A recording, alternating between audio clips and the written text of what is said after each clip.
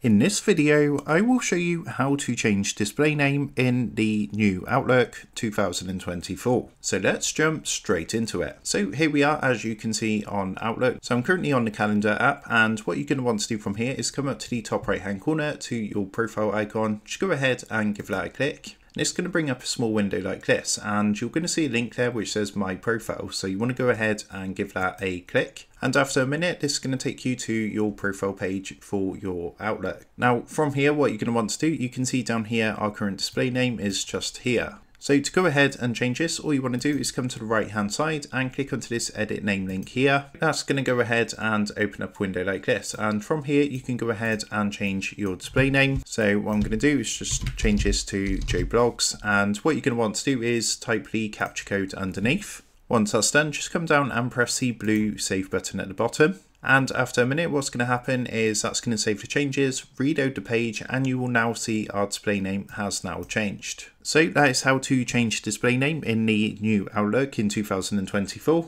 With that being said, I hope this quick tutorial did help you out today. And if this did help you out, I would really appreciate it if you was to consider dropping down below the video, leaving a like, and also subscribing to the channel. With that being said, I just want to take a minute to thank you guys for watching this quick tutorial and I will see you in the next video.